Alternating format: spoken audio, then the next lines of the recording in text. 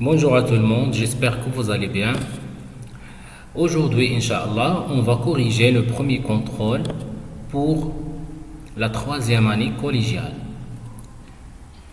Donc, on va commencer. إذا في هذه الفيديو إن شاء الله سوف نقوم بتصحيح الفرض الأول في مادة علوم الحياة والأرض للسنة الثالثة إعدادي مسلك فرنسي لنبدأ Donc, la première question. La première question, relier chaque action à l'organe dans lequel il se déroule. صل كل عضو مع وظيفته أو دوره. Le groupe A, l'estomac, la bouche, l'intestin grêle et l'anus. المعدة, الفم, المعي الدقيق والمخرج أو الشرج. Le groupe B, le brassage et action du suc gastrique. تخليط الأطعمة وكذلك الهضم بواسطة العصارة المعدية. Évacuation des déchets. يعني التخلص من الفضلات. Troisièmement. mastication et action de la salive يعني الهضم أو المضغ مضغ الطعام وكذلك تخليطه وهضمه بواسطة اللعاب passage des nutriments dans le sang et la lymphe مرور مواد القيد إلى الدم واللمف quatrièmement ou bien cinquièmement pardon passage des aliments dans le sang et la lymphe مرور الأغذية إلى الدم واللمف دونك لنبدأ في التصحيح. دونك اون فا مانتونو كوريجي سيت كيسيون دونك لا بخوميييغ ليستوما المعدة ليستوما سي لو ليو دو براساج اي اكسيون دي سوك غاستريك المعدة هو مكان تخليط وهضم الأغذية بواسطة العصارة المعدية La bouche, c'est le lieu de la mastication et l'action de la salive. هو مكان مضغ الطعام بواسطة الأسنان par les dents وتأثير كذلك اللعاب. L'intestin grêle, c'est le lieu de passage des nutriments dans le sang et la lymphe. هو مكان الذي تمر منه مواد القيت إلى الدم واللمف. لماذا لم نختر هذه العبارة؟ لأن هنا توجد كلمة ليزاليمون ليزاليمون تعني الأغذية. الأغذية لا تتواجد في المعي الدقيق لأن المعي الدقيق توجد فيه فقط لي مواد القيد ديرنييرمون لانوس المخرج أو الشرج وظيفته هو ليفاكيواسيون دي ديشي التخلص من الفضلات. Maintenant à la deuxième question. نمر الآن إلى السؤال الثاني.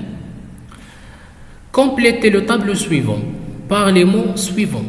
أكمل الجدول التالي بالكلمات التالية أنزيم أليمو كومبلي غذاء كامل أسيد نيتريك حمض النيتريك سوك ديجستيف عصارة هضمية لو سكوربو داء مرض داء الحفر لو غاشيتيزم مرض الكساح الآن maintenant on va liser les propositions ou bien les définitions donc c'est un aliment formé par tous ou bien formé de tous les aliments simples هو غذاء يتكون من جميع الأغذية البسيطة réactif متفاعل permettant la mise en évidence des protides متفاعل يمكن من الكشف عن وجود البروتيدات maladie causée par une déficience en vitamine D مرض ناتج عن نقص في الفيتامين د liquide qui contient une ou plusieurs enzymes هو سائل يحتوي على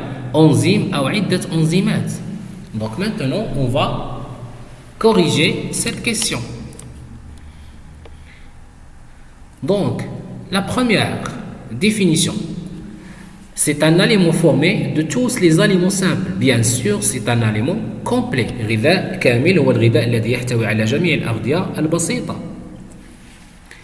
réactif permettant la mise en évidence des protides متفاعل يمكن من الكشف عن وجود البروتيدات bien sûr c'est l'acide nitrique هو حمض النيتريك maladie causée par une déficience en vitamine D مرض ناتج عن نقص في الفيتامين D bien sûr c'est le rachitisme enfin c'est un liquide qui contient une ou plusieurs enzymes une ou plusieurs enzymes donc c'est quoi C'est le sucre digestif العصارة الهضمية هي سائل يحتوي على أنزيم أو أكثر Passons maintenant à la troisième question. Donc la troisième question, cochez la case qui correspond à la proposition correcte. ضع علامة على العبارة الصحيحة. Donc هذا السؤال هو سؤال الاختيارات المتعددة. لدينا أربعة أسئلة السؤال الأول الثاني الثالث والرابع. لنبدأ مع السؤال الأول. Le résultat de la digestion buccale. نتيجة هضم الأغذية على مستوى الفم. نتيجة الهضم الفموي. عندما تهضم الأغذية على مستوى الفم. على ماذا نحصل؟ لاميدون النشا لو مالتوز بوليبيبتيد عديد البيبتيد. لا دوزيام أليمو فونكسيونيل أليمو فونكسيونيل يعني أغذية وظيفية. أغذية لديها وظيفة في جسم الإنسان. وتسمى كذلك أغذية واقية. Des aliments protecteurs. La viande poisson œuf poulet beurre fromage huile aliments riches en vitamines et sels minéraux نمر الآن إلى السؤال الثالث le tube digestif الأنبوب الهضمي va de la bouche à l'estomac de l'estomac à l'anus de la bouche à l'anus الأنبوب الهضمي يبتدئ من الفم إلى المعدة أو من المعدة إلى المخرج أو من الفم إلى المخرج quatrièmement aliments riches en lipides أغذية غنية بالدهنيات la viande, poisson, œufs, poulet, beurre, fromage, huile, pommes de terre, chocolat, sucre. الآن نبدأ في الإجابات. La première Le résultat de la digestion buccale نتيجة الهضم على مستوى الفم نحصل على le maltose Deuxièmement, aliments fonctionnels الأغذية الوظيفية هي الأغذية الغنية بالفيتامينات والأملاح المعدنية. Troisièmement, le tube digestif va de la bouche à l'anus. الأنبوب الهضمي يبتدئ من الفم إلى المخرج. Quatrièmement, les aliments riches en lipides, ce sont le beurre, الزبدة, le fromage, والويل الزيت هذه الأغذية هي أغذية غنية بالدهنيات Très bien. Passons maintenant à la quatrième question. Légendez le schéma ci-dessous. اعطي الأسماء الوثيقة التالية. Donc, voici un schéma qui présente quoi Qui présente, qui montre l'appareil digestif. هذه الوثيقة توضح لنا مكونات الجهاز الهضمي. إذا رقم واحد. ورقم اثنان ثلاثة أربعة خمسة ستة سبعة. نبدأ في الإجابة. Donc la première c'est l'œsophage. L'œsophage يعني المريء. المريء هو الأنبوب الذي يصل الفم مع المعدة. Donc c'est le tube qui relaie la bouche avec l'estomac Deux, c'est l'estomac. Itnan, c'est le foie. Le foie, yani al-kabid. Quatre, c'est le pancréas, al-pancréas. Cinq, c'est l'intestin grêle. Al-ma'i, al-daqiq. Six, c'est le gros intestin, al-ma'i, al-ghalid. Sabi'an, c'est l'anus. Le titre, c'est un schéma de l'appareil digestif خطاطة أو رسم تخطيطي للجهاز الهضمي Bonjour à tout le monde, j'espère que vous allez bien. Assalamu alaikum wa rahmatullahi ta'ala wa barakatuh. مرحبا بكم في فيديو جديد متعلق بتصحيح الجزء الثاني من الفرض الأول للسنة الثالثة إعدادي مسلك فرنسي. Donc aujourd'hui, Inch'Allah, on va, je vais vous proposer la correction de, la deuxième partie du premier contrôle pour la troisième année ISFT. Donc, on va commencer par le premier exercice. Aya, élève de troisième, veut tester ses connaissances et émet les hypothèses suivantes. La première hypothèse, le sucre pancréatique digère l'amidon cuit. La deuxième hypothèse, le sucre intestinal digère l'amidon cuit. La troisième hypothèse, le sucre gastrique digère l'amidon cuit. Donc, نشرحوا هذه البداية ديال التمرين آية تلميذة اسمها اسمها آية هي تلميذة في السنة الثالثة إعدادي تريد أن تتحقق وتختبر من معلوماتها فاقترحت الفرضيات التالية. الفرضية الأولى لو سوك بونكرياتيك ديجير لاميدون كوي بمعنى أن وضعت فرضية الأولى مفادها بأن العصارة البنكرياسية تهضم النشا المطبوخ. الفرضية الثانية التي وضعتها آية هي لو سوك انتستينال ديجير لاميدون كوي العصارة المعوية تهضم النشا المطبوخ والفرضية الأخيرة لو سوك غاستريك ديجير لاميدون كوي العصارة المعدية تهضم النشا المطبوخ Vous avez étudié déjà la, le chapitre de la digestion des aliments au niveau de la bouche, au niveau de l'estomac et au niveau intestinal. Et vous avez étudié, bien sûr, avec votre professeur, les enzymes intervenant dans la digestion chimique de, des protéines, des lipides et aussi des glucides. Donc, euh, on va continuer l'exercice. Pour tester et vérifier ces hypothèses, elle réalise les expériences suivantes selon les étapes ci-dessous.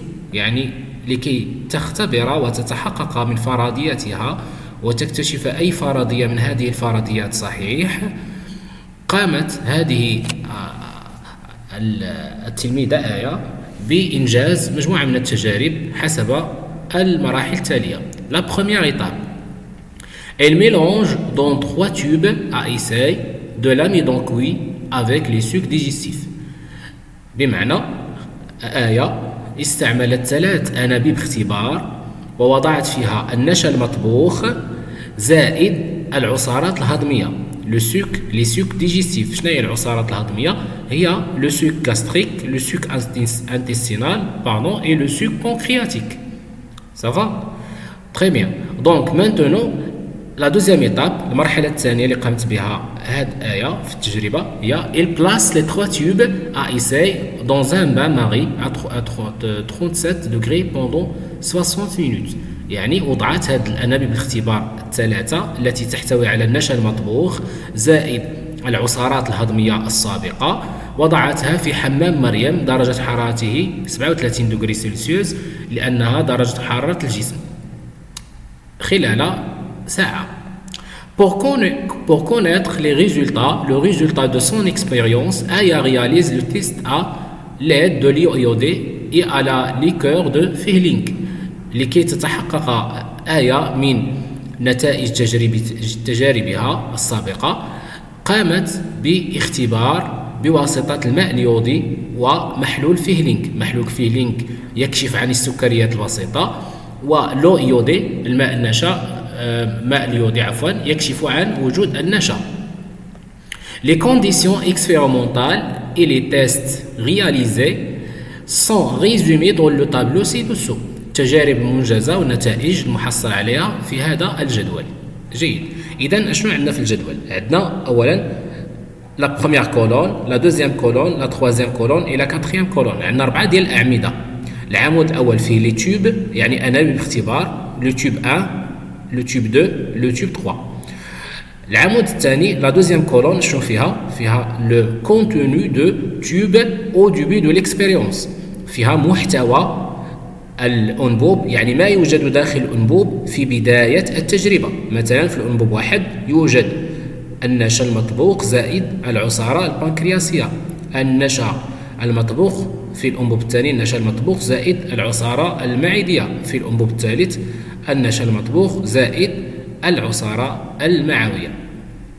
وهنا عندنا في لا كولون 3 إلى كولون 4 شنو عندنا؟ عندنا لو تيست رياليزي 30 minutes plus tard. يعني آه، اختبار المنجز بواسطة الماء اليودي ومحلول فيهنينغ بعد مرور 30 دقيقة أي نصف ساعة.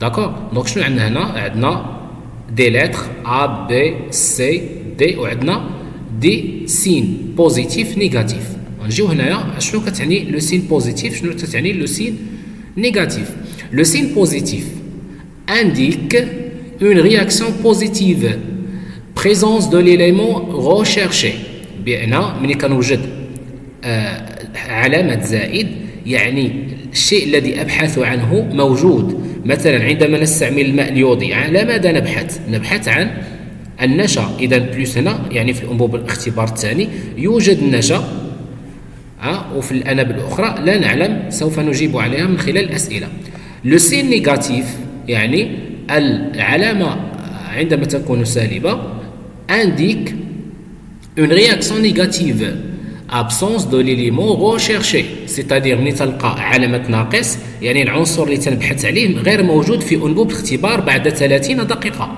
مثلا هنايا ملي كنستعملوا لا ليكور دو فيلينغ علاش تنقلبوا تنقلبوا على لي سوكر سامبل ها شنو هما لي سوكر سامبل هما كنقلبوا على لو غليكوز لو مالتوز دونك الا كانت موان يعني ما كاينينش الا كانت بلوس يعني كاينين داكور Donc maintenant, les questions.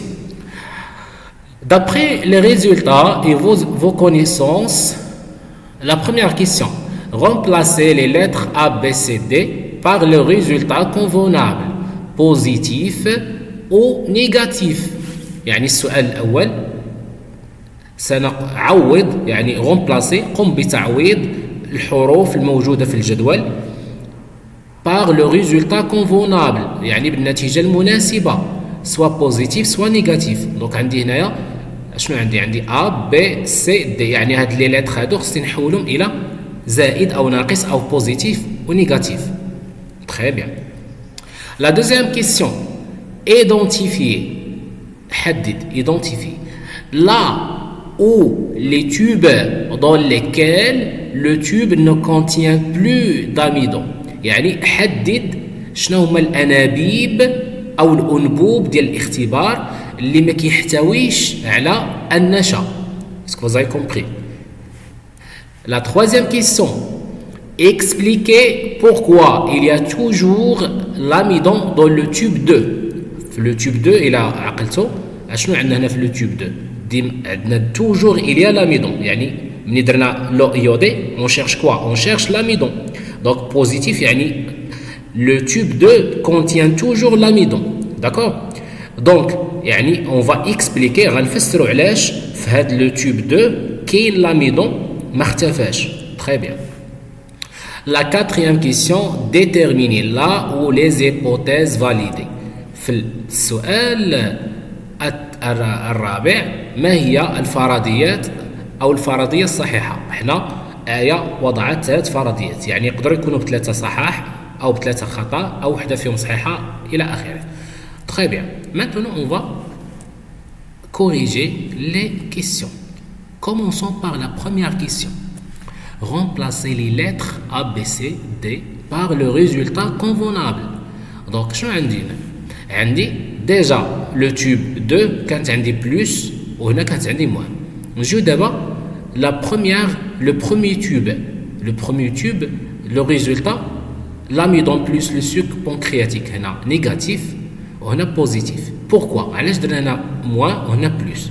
Tout simplement, le sucre pancréatique contient l'amylase pancréatique. يعني العصاره البنكرياسيه درستي في في السنه الثالثه اعدادي في درس الهضم تحديد في الهضم المعوي لا ديجيسيون انتستينال درستي بان لو سوك بونكرياتيك العصاره البنكرياسيه اللي كيفرزها البنكرياس كتحتوي على واحد الانزيم اللي كيتسمى لاميلاز بونكرياتيك كيتسمى لاميلاز بونكرياتيك يعني كتسمى النشواز البنكرياسي هاد النشواز شنو تيدير تيدير لا ديغراداسيون لا سامبليفيكاسيون دو لا موليكول داميدون دونك منين وضعنا في لو توب 1 le sucre pancréatique plus l'amidon, après 30 minutes, après 30, 30 minutes ou bien 60 minutes, on ne va pas trouver dans le tube 1 l'amidon. علاش لان هذا le sucre pancréatique شنو فيها فيها l'amylase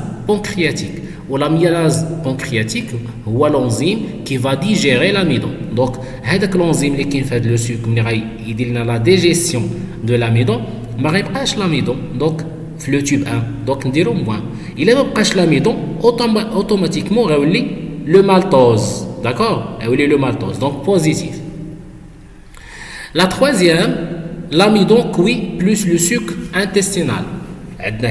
Plus, on a moins. Pourquoi parce que le sucre intestinal ne contient pas l'amylase يعني العصارة المعوية لا تحتوي على أنزيم النشواز الذي يهضم النشا Est-ce que vous avez compris Très bien. Maintenant, la deuxième question. Identifie là où les tubes dans lesquels le tube ne contient plus l'amidon.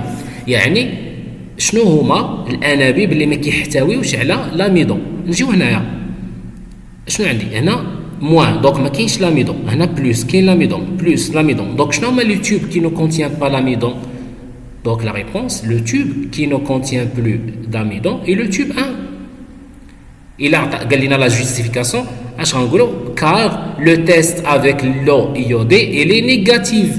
D'accord? Le test avec l'eau iodée il est négatif. D'accord? La troisième question expliquer pourquoi il y a toujours de l'amidon dans le tube 2. Donc le tube 2 il y a toujours l'amidon ici. D'accord? Donc après le test avec l'eau iodée, il y a toujours de l'amidon. Donc pourquoi il y a toujours de l'amidon dans le tube 2 Tout simplement, si on voit, si on voit le, le contenu du tube 2, on va voir qu'il y a de l'amidon, qui est l'amidon, et le sucre gastrique, العصارة المعدية تنعرفوا بان العصاره المعديه كتهضم البروتينات وما كتهضمش النشا دونك سي اوتوماتيكمون l'amidon il va il, il ne va pas être digéré dans ce tube-là. D'accord? Donc il y a toujours de l'amidon dans le tube 2 car le sucre gastrique ne contient plus pas l'amylase qui digère l'amidon, tout simplement. Maintenant, la quatrième question. Déterminer là où les hypothèses validées. Je nomme les hypothèses. Je il a proposé trois hypothèses. La première hypothèse, le sucre pancréatique digère l'amidon. le sucre intestinal digère l'amidon, le sucre gastrique digère l'amidon. Donc من خلال هذه النتائج شنو هي التجربة أو الفرضية الصحيحة؟ Tout simplement الفرضية الصحيحة هي الفرضية الأولى. Donc l'hypothèse validée est l'hypothèse une. Pourquoi Parce que le sucre pancréatique digère l'amidon cuit. Très bien. Maintenant, passons à la deuxième, euh, au deuxième exercice. Pardon. Donc, un adolescent de 15 ans a consommé pendant 24 heures une, une ration alimentaire composée des éléments suivants.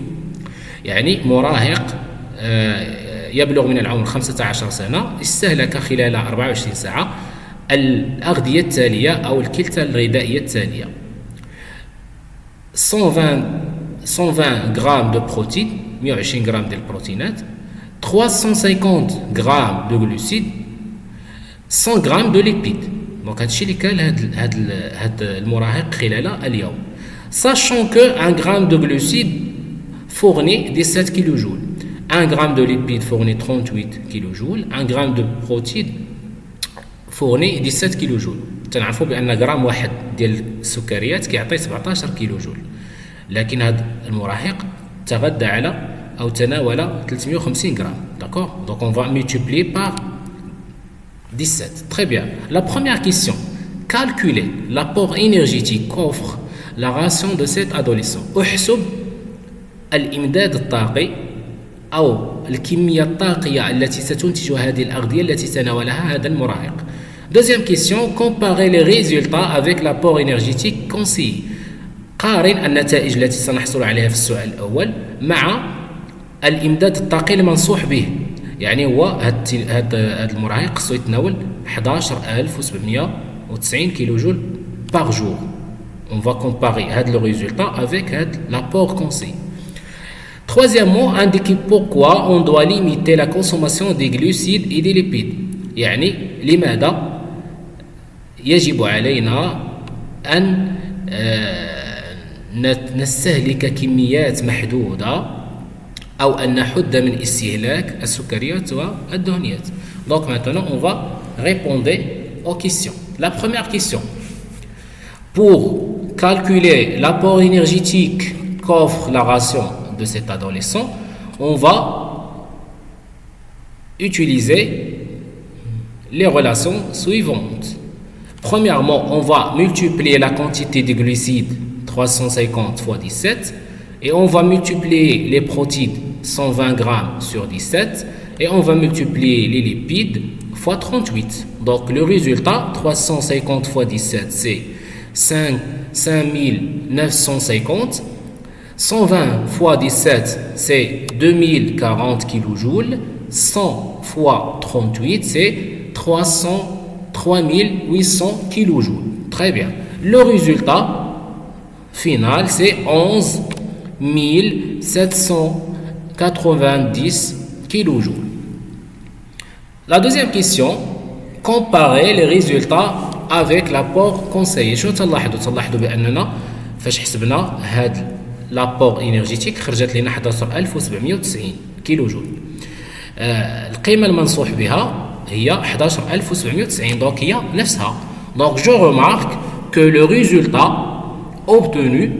et l'apport énergétique conseillé sont les, les, les mêmes يعني نفسه La troisième question indique pourquoi on doit limiter la consommation des glucides et les lipides.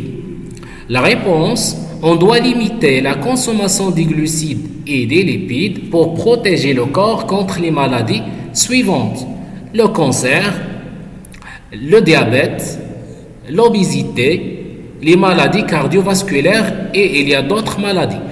خصنا نحدوا من الاستهلاك السكريات والدهنيات لأنها تسبب أمراض كثيرة ومن أجل حماية جسمنا من الأمراض ولأنها تسبب أمراض مثل السرطان السكري داء السكري لو ديابيت السمنة وأمراض القلب والشرايين Donc, euh, merci pour votre, attention, pardon. Merci pour votre attention.